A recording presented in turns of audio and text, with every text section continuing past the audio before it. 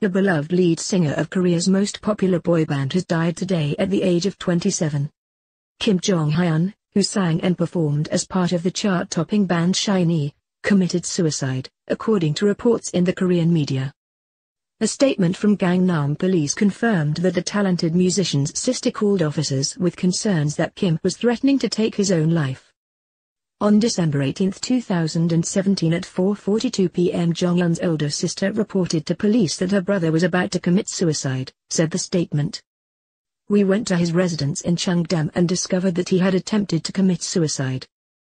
The statement added, Emergency responders were with us at the time so we rushed him to the Konkuk University Hospital in a state of cardiac arrest. His cause of death is said to be carbon monoxide poisoning, which could have been caused by breathing in fumes.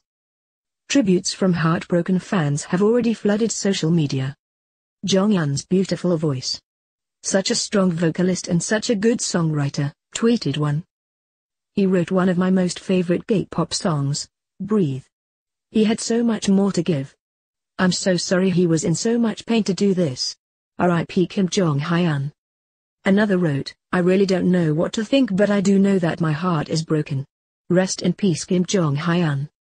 And a third said in tribute, sending my condolence to Shawol and SHINee members and Jong-hyun's family. Of course. Kim Jong-hyun, rest in peace, you're talented. You're worth and the best. Once again, rest in peace.